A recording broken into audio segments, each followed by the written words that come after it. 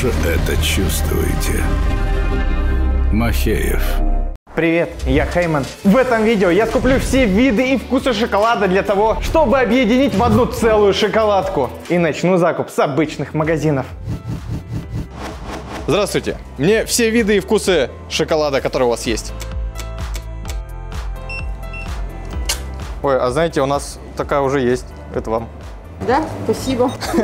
Спасибо вам. На самом деле у нас такой не было еще, но мы купим в другом магазине. Так, набираем те, тот шоколад, которого у нас еще не встречалось. Такое было, было, было, было уже. Ага, такого не было.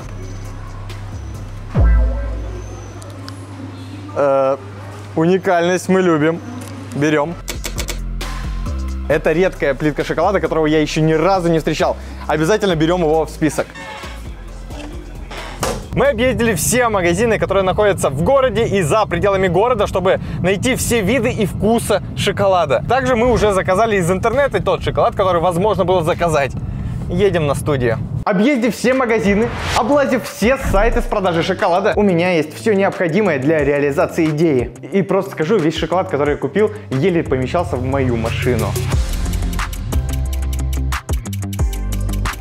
Прямо сейчас ты видишь все виды и вкусы шоколада, которые возможно купить в России. Помимо российских, здесь есть еще и зарубежные, которые нам удалось купить. Прямо сейчас в моих руках находится 437 шоколадок разного вкуса и вида. Но перед тем, как мы будем смешивать все шоколадки в одну огромную, нам нужно определить, каким способом можно достичь наилучшего результата. Самое главное, чтобы шоколад не потерял свой вкус и не стал горелым, чтобы получилась однородная масса без твердых кусочков, чтобы этот способ подходил под наши масштабы и был удобен в реализации. У меня есть вот такой аппарат с центрифужной силой. Нажимаем кнопку и он начинает крутиться.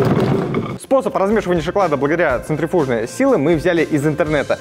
Протестируем, проверим, а что бы и нет. В принципе, для того, чтобы смешать, нам много шоколада не надо. Возьмем просто два максимально контрастных между собой шоколада. Это, допустим, шоколад белый и черный шоколад. Благодаря этому, блин, я думал, это все на стол летит. Благодаря тому, что у нас имеется белый и черный шоколад, мы сможем посмотреть на результат, насколько хорошо он смешался. Если белый с черным смешивать, серый, да, должен получиться? Что-то типа того. Но у нас есть по 9 долек шоколада, давайте их на всякий случай сломаем. Помещаем их в тару, закрываем крышкой, крышку герметизируем. А, При вращении шоколад должен треться друг об друга и тем самым нагреваться. И тем самым смешиваться. Включаю аппарат.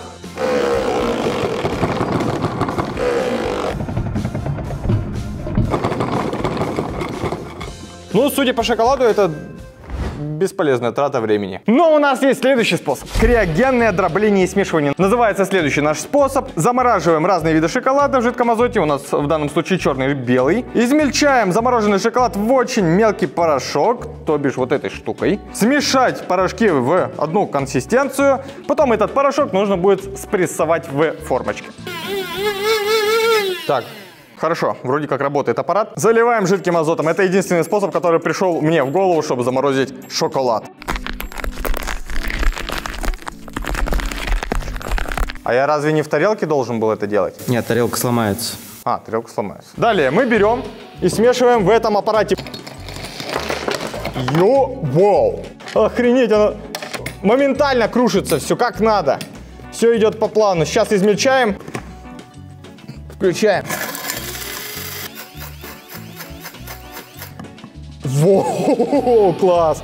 Вот это результат! Для пресса у нас есть вот такая штука. И, собственно говоря, пресс. Саму шоколадку будем складывать в эту коробочку. Мгм. И прессуем. Наверное, надо было на полу это делать. Получилась какая тоненькая плиточка шоколада. Помещаем в тарелочку. Что, можно засчитать, что этот способ работает? Мы столов не напасемся так. Слишком дорогой, ребята, способ. Попробуем. Блин, прикольно. Реально прикольно. Да, этот способ работает. Ребят, сами понимаете, по бюджету очень дорого выйдет покупать на 400 шоколадок вот столько столов. Поэтому мы идем к следующему способу, который тоже должен быть, в принципе, рабочий. Все так же берем черный и белый шоколад, кладем. Давай. И поджигаем. Если что, шоколад горит. Это, правда, не видно, но уж поверьте. У меня э, последний стол остался. Главное, чтобы не прогорел. Не, ну какой-то результат есть. Ее всего лишь останется остудить, и как бы она смешалась. Я думаю, хватит, пора остужать.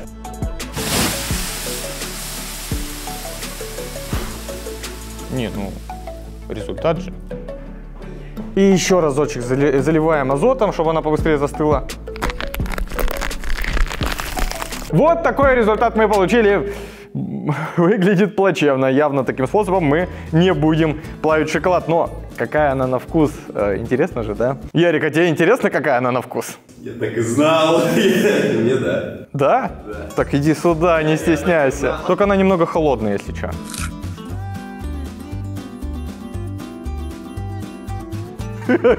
Че, как тебе вариант этот? Кофе? Оно как кофе. Как кофе, реально? Да, я как будто чашку э, эспрессо выпил. Вкусное хотя бы? Холодное эспрессо. Ну, давай попробуем. О, спиртяга отдает, спиртом очень отдает сильно. Вот этот вкус водки. Так Ярик такой эспрессо и пьет только. Он даже про это и не сказал. Э, Отвратительно. Этот способ и не расплавил шоколад, и сделал его невкусным. Шоколад сам по себе потерял свойства и вкусовые рецепты. Оно нам не надо. Ну и под конец чисто устроим битву, кто лучше расплавит шоколад. Обычное солнце, которое прямо над головами у нас находится, располагается, а либо фен. В эксперименте участвует один и тот же шоколад для того, чтобы у нас эксперимент получился максимально честный. И битва началась. На данный момент лидируют шоколадки под феном. Но оно не удивительно, потому что напор идет прямо на них, в отличие от солнца, которое рассеивает тепло. В лидера выбивается солнце. Настолько жарко, что фен по сравнению с солнцем это какой-то мини-вентилятор, который еле обдувает, как морской бриз. Кто выиграет? Фен или солнце? Солнце или фен. Я нанял специального охранника, который будет контролировать, чтобы мой шоколад никто даже пальцем не тронул. Антоха, привет. Здорово. Ну что, как успехи расставил, нет? Да, растаял вообще идеально. Я рад тому, что у нас есть хоть какой-то результат. Шоколад действительно расплавился. Были реально жаркие деньки, которые мы успели выловить. Результат на лицо. Но кто быстрее справился с этой задачей, фен или солнце, мы увидим на таймлапсе, если монтажеры уже это не показали, правда. По итогам эксперимента у нас получился результат солнце и фен. Ну, понятное дело, выиграло солнце. А мы переходим к самым необычным вкусам шоколада, которые я смог купить. Да, это будут реально необычные вкусы. Такие шоколадки ты вряд ли встретишь в обычных магазинах. А стоит ли хотя бы раз в жизни такое попробовать, мы сейчас узнаем. Шоколад с белыми грибами и жареным луком. Не знаю, а какую самую странную шоколадку в своей жизни видели вы? Напишите в комментариях, даже интересно. Где ломтики белых грибов, а где ломтики с луком? Очень интересно, допустим, если мне белые грибы не понравятся, то я хотя бы не буду есть. Луком немного отдает, вот прям капельку отдает. Грибами вообще не пахнет. Точно такое же ощущение, если ты, допустим, поешь какие-нибудь чипсы с луком, а потом закусишь шоколадкой. То же самое ощущение. Есть преобладающий вкус шоколада, затем появляются вот нотки, будто бы ты поел окрошки. В принципе, шоколадка мне не понравилась, она не, не совсем вкусная, но это мои вкусовые рецепторы, так сказали сказать. Этой шоколадке я ставлю 3 из 10. А ты домашку сделал? Не только дети готовятся к учебе. Те, кто уже в IT или только знакомятся с технологиями, учатся в Яндекс Практикуме, чтобы сменить профессию или вырасти в карьере. С поддержкой экспертов и других студентов. Яндекс Практикум – ваша новая учебная жизнь. Шоколад с яйцом и беконом. Шоколад на завтрак, блин. э, а было бы мне прикольно покупать такие шоколадки, чтобы завтракать. Точно так же пахнет шоколадка, как вот сухарики с беконом. Никогда такого не пробовал. Не скажу, что это отвратительно. Вообще ни капли. Достаточно вкусно. Мне понравилось даже. Есть, конечно, небольшое внушение, что типа бекон, шоколад, яйцо не сочетается, но если об этом не знать и вот просто угостить друга шоколадкой, вот, держи. Ну, вкус прикольный. Как сухарики с шоколадом. 8 из 10 это реально шоколад, который я никогда не пробовал. И прям реально вкусненько. Шоколадка KitKat с васаби и зеленым чаем. Пахнет ничем. Вот что находится внутри этой шоколадки, вафля. М, вафля дешевая. Сам шоколад тоже будто бы какой-то дешевенький. Я вкус васаби почувствовал. Я сначала думал, что это зеленый чай, а это оказывается шоколадка с васаби и зеленым чаем. Я и думаю, почему мне немного остренько становится во рту. Я не скажу, что это отвратительно. Это забавно, но не для меня. Я бы поставил 6. Мы добыли шоколад со вкусом конопли. Да, вы все прекрасно знаете, что это за растение, и- из которого делали одежду раньше. Сейчас мы попробуем. Плитка выглядит следующим образом. И на задней стенке мы можем разглядеть зерна конопли, которые сюда поместили, собственно. Друзья, а это вообще не запрещено? Ну, семена конопли не запрещены. Ну, слава богу. Он необычный, но я пытаюсь распробовать этот вкус, чтобы описать его тебе, чтобы ты хоть как-то его сравнил. Ребят, ничего больше не могу сказать. Единственное, вот нотки какого-то меда проскакивают. Я не знаю, с чем это связано. В принципе, шоколад неплохой, но и назвать его шедевром тоже не могу. Поэтому 7 баллов. Вроде бы, что может быть необычнее шоколада с беконом, с коноплей? Наверное, все-таки шоколад с рыбой. Это омуль, рыба-омуль. Э, Я не знаю, как они умудрились туда его запихать, но мы сейчас обязательно эту шоколадку протестируем. О, можно попробовать. Вот так вот этот шоколад выглядит, вроде как э, ничего необычного, да? На секундочку. Пабам! Смотрите, что внутри. Хм. Внутри этой шоколадки шишки, кусочки от рыбы, вот они, кедровые орешки. Ну так можно попробовать? Э, ну да, держи.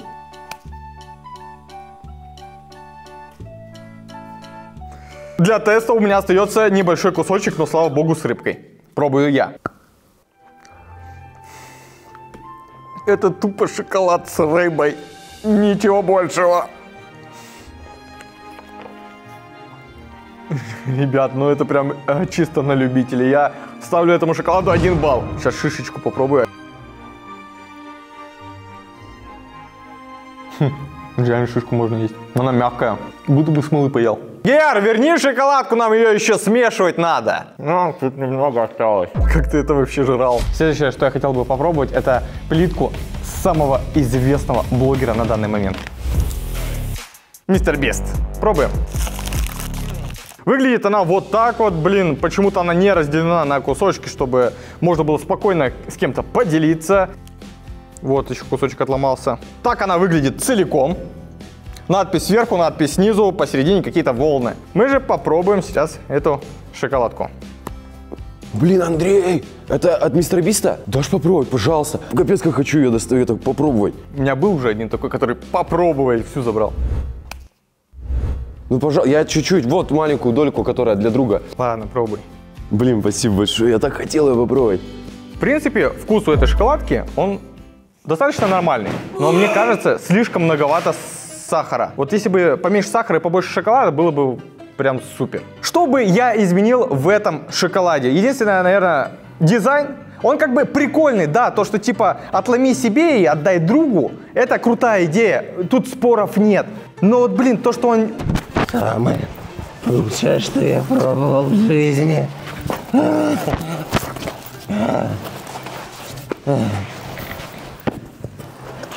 Что там происходит? Лучше не спрашивай. В принципе, от меня этот шоколад получает честными, но 7 баллов из 10. И, на удивление, мне шоколад с беконом и яйцом понравился побольше. Это вторая шоколадка известного блогера. Влад Бумага. Шоколад Влад Бумаги. Раскрываем яйцо и... Это шоколадка бумаги? Чё? Влад Бумага? Можно попробовать, пожалуйста? Я ни разу не пробовал шоколад Влад Бумаги. Пожалуйста, Андрей, вот одну. Ярик, давай без этого, пожалуйста. Давай. Иди, Ярик. Ярик, нет. Нет. О, это у нас здесь девочка какая-то в капсуле. Ну, не знаю, это просто шоколадка, ребят. То есть э, никакого прям особенного уникального вкуса нету рыбы, конопли и бекона. Поэтому шоколадка такая достаточно вкусная. Может даже 7 поставить, давай. Давайте 7 поставим. И девочка. Не, ну за девочку можно и 8 поставить. 8 из 10. Железная восьмерочка. Дальше у нас идет шоколад Аленка. В ней ничего такого прикольного нету, ну, помимо вкуса, естественно. Есть один лайфхак, прикольный, именно с этой упаковкой. А точнее, не лайфхак, а иллюзия. Мы загибаем шоколадку прямо посередине лица Аленки. И то же самое делаем по краям ее лица. И в итоге у нас получается вот такая иллюзия. Если мы нагибаем на себя, то она начинает улыбаться. Если от себя, то немного грустит. Но перед тем, как вот это, собственно, делать, я забыл сравнить самую маленькую шоколадку от Аленки и самую большую. Вот. Это размер шоколадок в распакованном виде. Дальше хотел бы показать вам прикол с бесконечной шоколадкой. Разрезаем шоколадку. Вот так, вот так, вот так. И у нас получаются вот такие детали. Дальше мы берем вот этот бесплатный кусочек шоколадки, отводим в сторону, а вот эти меняем местами. И у нас получается цельная плитка шоколада и плюс еще бонус, который я прямо сейчас съем. А это пойдет в смешивание. Дальше нам предстоит то, ради чего мы с вами здесь все собрались. А то есть объединить весь шоколад в одну целую шоколадину. Переходим к раскрыванию всех шоколадок и смешиванию. Перерыв на обед. Что-то я запарился уже с этими шоколадками. И шоколадок я сделал себе бутерброд из горького, белого и молочного шоколада. Шикарно, мне нравится. Яйца с беконом не хватает. Хватит! Пора дальше продолжать работать.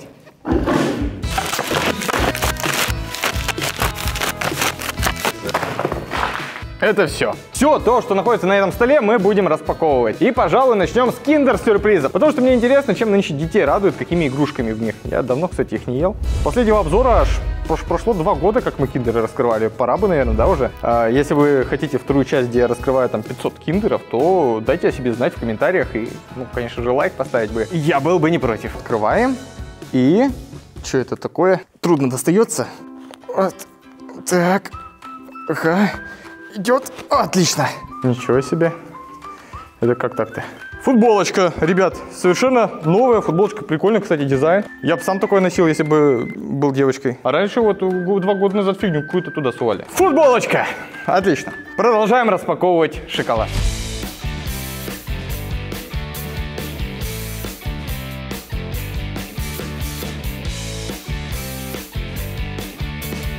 Вот столько шоколада у нас вышло, столько упаковок и вот столько фольги. Это мы несем на переработку, вот это мы понесем на переплавку, а из этого я хочу сделать металлический шар. Шар из фольги. Просто посмотреть, какой шарик получится.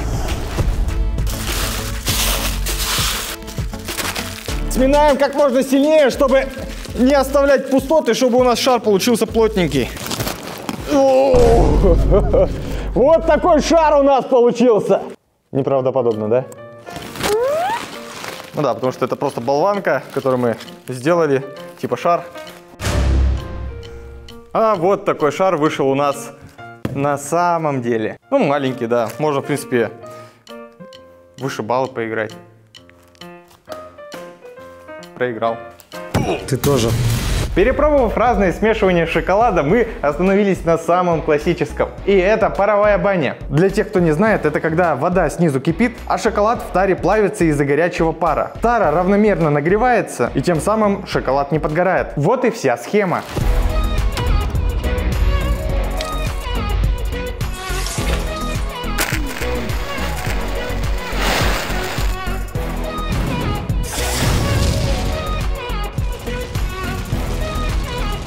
Шоколада у нас много, поэтому мы взяли вот самую большую тару, которая у нас была. Здесь около 200 литров. Залили водой, вода разогревается. И чтобы а, она разогрелась побыстрее, можно накрыть сверху тазиком. Все, тем самым температура тут будет намного больше, чем э, если бы это было без тазика. Ну что, не будем зря терять время, возвращаемся на предыдущую локацию. А пока мы разогреваем нашу паровую баню для того, чтобы растопить шоколад равномерно, я специально заранее сохранил две шоколадки. Одна из которых самая дешевая шоколадка, которую мы только смогли найти. Чуть позже я покажу самую дорогую шоколадку. Цена этой шоколадки 35 рублей. То есть э, можно же, конечно, найти дешевле, но в соотношении с граммовкой это самая дешевая. Внутри она выглядит вот так вот. Ну и понятное дело, все хотят посмотреть мою реакцию, какая она на вкус и сколько баллов-то я ей поставлю. Будет ли она вкуснее шоколадки от Мистера Биста или нет. А она мне достаточно за свою стоимость э, понравилась. Этой шоколадке я ставлю 7 баллов. Ну, шоколад с беконом мне больше понравился. А мы же переходим к шоколадке, которая стоит, на секундочку, 1620 долларов. В рейтинг Forbes самого дорогого шоколада вошла эксклюзивная плитка Виспа Gold. Ее выпустили ограниченным тиражом для ювелирных бутиков. Напоминаю, что стоимость ее 1628 долларов. И при этом вес всего 50 грамм. Упаковка сделана из сусального золота, что в принципе позволяет есть ее вместе с шоколадом. Не позволяет. Нам, нам не хватило денег на нее. Это просто краска? Я же тебе давал 1628 долларов, чтобы ты купил такую шоколадку. Я, я пытался. Что пытался? А где шоколадка-то из сусального золота? Кажется, Антон сдал ее на металлолом. А где деньги-то? 1600 долларов давал я тебе. Не знаю. Возвращайтесь как к себе. Хорошо, я возвращаюсь к себе. Ладно, это была шутка, кто не понял. Мы не, не собирались выставлять это за оригинал. Мы просто поп- попытались визуализировать, как она выглядит в реальной жизни. А на самом деле самая дорогая шоколадка, именно которая у нас есть, это шоколадка мистера Биста. Вот она, собственно. Вот, стоила она 1500 рублей. Но вот эта шоколадка стоила 500 рублей. На втором месте по стоимости, но все равно ее тоже стоит попробовать. Вот такой рисунок у нее э, изображен. Очень-очень горький шоколад. Мне совсем не понравилось. Ну, а мы же возвращаемся к плавке нашего основного шоколада. Погнали. Блин, там столько вкусных шоколадок. Так жалко это все смешивать.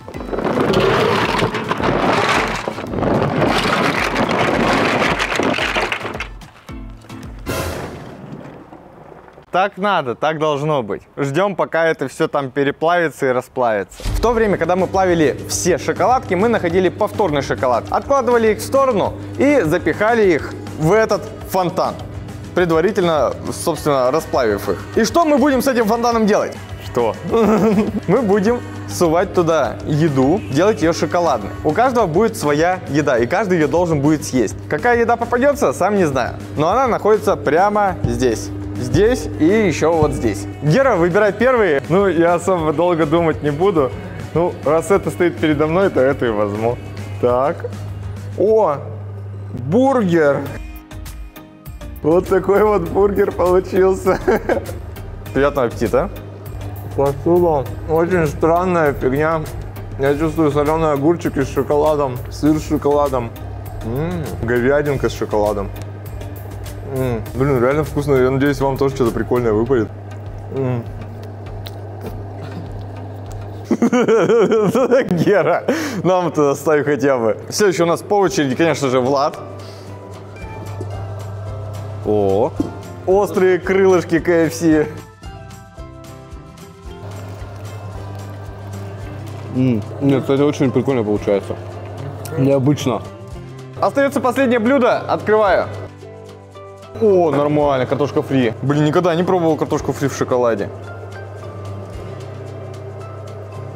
А ты поставил лайк? Давай вот, я макну эту картошку фри, когда ты поставишь лайк. Спасибо.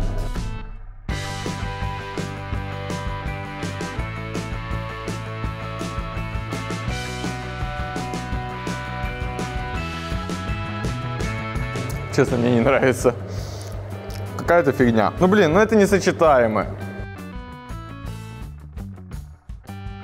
Ребята, самое главное надо было попробовать. А мы пойдем посмотрим. Может быть, наша шоколадка уже, ну, основная, готова. Шоколад более-менее растопился. Вроде бы как пора помешать. Гера ложку. Начну соскребать по краям, чтобы он не прогорел, шоколад. Гера, не будет побольше ложечки, а то это что-то не особо удобно мешать. Не, не надо кидать. Ага, спасибо. О, вообще нормально, залипательная такая тема. Как будто суп из топора варю. Не знаю почему, причем тут топор, но будто бы... а, Оно... А, а, блин, а, яй-яй-яй-яй-яй-яй, с- а, бочка протекает. Вода из нее выливается. Главное чаще помешивать.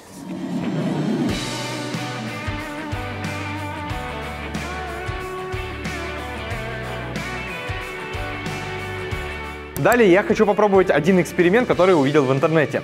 Возможно ли сделать шоколадную Кока-Колу и насколько крутой она у меня получится. Разрежем шоколад на маленькие-маленькие кусочки.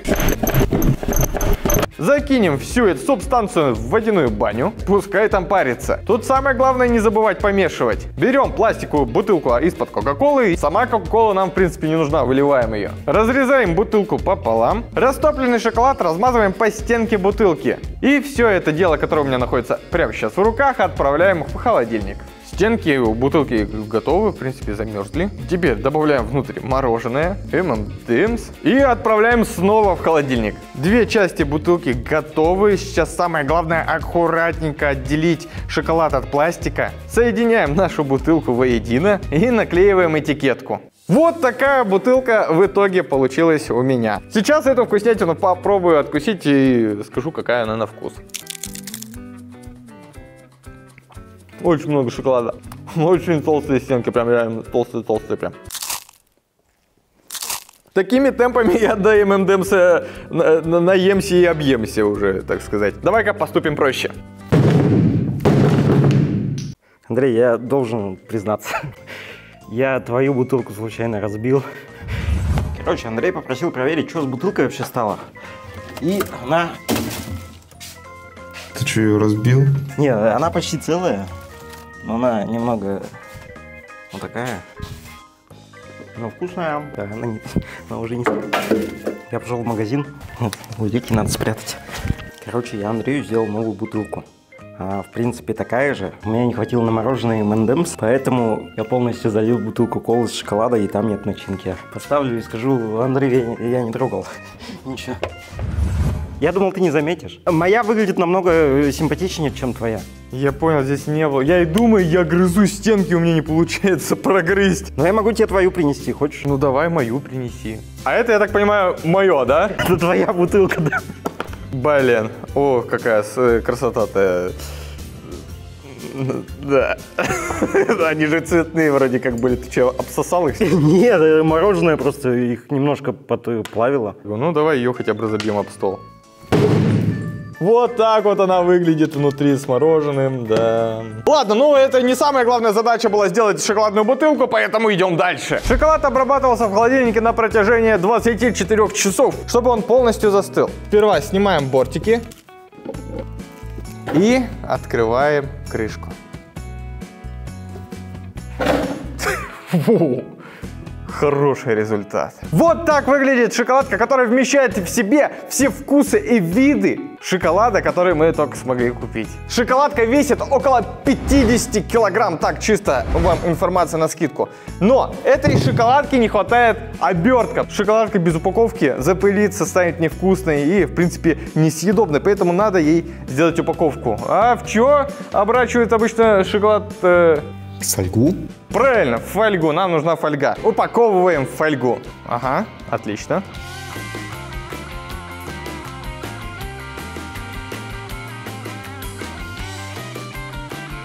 И аккуратненько фольгой обворачиваем шоколадку. Готово. Но не полностью. Какая шоколадка обходится без обертки? А самый простой способ придумать дизайн какой? Ну, во-первых, прочитать книгу по маркетингу, потом закончить дизайнерские курсы, э, определить целевую аудиторию, э, посмотреть, какие цвета более-менее подходят, э, и потом уже начинать творить. В принципе, ты прав, но все это идет в мусорку, потому что мы поступим гениальнее. Мы возьмем продукт, который самый лучший на рынке на данный момент у нас. Возьмем его упаковку, немного переделаем под себя, и вот это будет наша упаковка. Да, грубо говоря, спагетти. Упаковочка, да. Я взял самую популярную шоколадку у нас. Это шоколадка Аленка. В фотошопе ее немного изменил под свой дизайн. Ну, грубо говоря, просто ставил свое лицо. Дальше, так как у нас нету нормального полноценного принтера большого, я расфасовал свой дизайн шоколадки на листочке А4, распечатал каждый листочек, склеил его воедино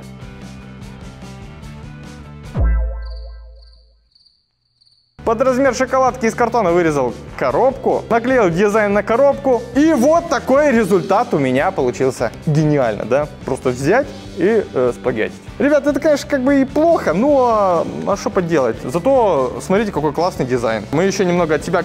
Ой, Мы еще немного от себя креативности добавили, что типа тут э, шоколадка, да, типа она распаковывается. Короче, засовываем э, шоколад в упаковку. Ребят, мне нужна помощь. Втроем засунем наш шоколад в упаковку. Давай. Отлично влезает. Прям под размер сделал. Отлично. Все, теперь это полноценная шоколадка. 50 килограмм. Классно. Тяжеловато, правда, но прикольно. И теперь я могу идти и угощать друзей, которые со мной делали эту шоколадку. Но мы еще, честно говоря, не тестировали ее. Ну что ж, давайте по очереди будем пробовать. Начиная с Влада. Как будто горький шоколад какой-то. Нотки дымка и орешки, орешки. Ну, в принципе, неплохо даже, еще могу съесть.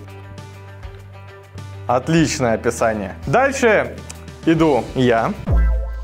А я? Пробуем шоколадку, которую мы делали неделю, над которой мы старались. Мы скупили все виды и вкусы для того, чтобы попробовать. Вот это вот произведение искусства. Да, Антон? Что ты чувствуешь? Хорошая. Хороший орешек. Я в нутеллу поел будто бы. Теперь очередь моя. Твоя предыдущая была, ты Антону ее отдал. Влад, не кричи, пожалуйста, по духу. Я Ярик. Пробую теперь я. Да, действительно, вот чувствуются вот эти вот нотки дымка. Дымочек немного перебивает вкус всего шоколада, который у нас здесь есть. В принципе, вкус шоколада, шоколада с дымком. Гера, твоя очередь. О, да, хорошо. Так, у меня даже вот запасена салфеточка, чтобы не испачкаться. Ну и как настоящий эстет, пробую эту шоколадочку. Орешки какие-то, типа фисташки или что это такое? Не фундук. Металл. Чувствуются кофейные нотки, видимо, мне темная шоколадка попалась и еще молочная. Но в целом мне понравилось. Все. И теперь мы... А, у нас еще один есть. Прикинь, да. Ну что ж, очередь Влада. Ой, Ярика. Ярика. Но он пластмассовый, возьми хотя бы настоящий, если ты мне угрожаешь. Да он обрезанный, куда он возится, просто кожу мне поцарапает. Возьми нормальный. Да все, ладно, отстаньте, я шоколад хочу. Ничего себе, на хороший кусок откусил. Кстати, я больше всего старался попробовать этот шоколад. Он все это время пытался. Он жаждал его попробовать, он больше всего этого хотел. Подождите, подождите. Ярик переигрывает, но мы сейчас узнаем почему. Э, Мы не понимаем, почему Ярик недоволен. Хочешь знать, откуда эти шрамы? Блин, возможно, ему попался чай шоколада с перцем. Чисто случайно, когда мы все попробовали шоколад и вышли на улицу подышать воздухом, чисто случайно кто-то в шоколад подбросил перец. Красный, самый острый. И э, Ярик не переигрывает. Просто так попалось ему.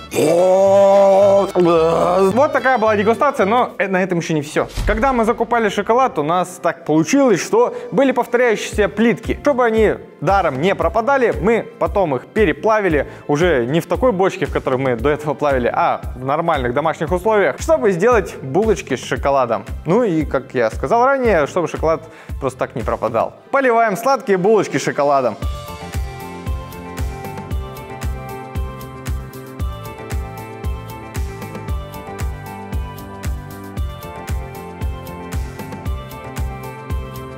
Ну а чтобы булочкам зря не пропадать, мы их раздадим команде, друзьям, знакомым и нуждающимся. You don't ever wanna give me wings. You don't ever wanna set me free. But if I lay down and I play dead and I stay dead, baby, you'll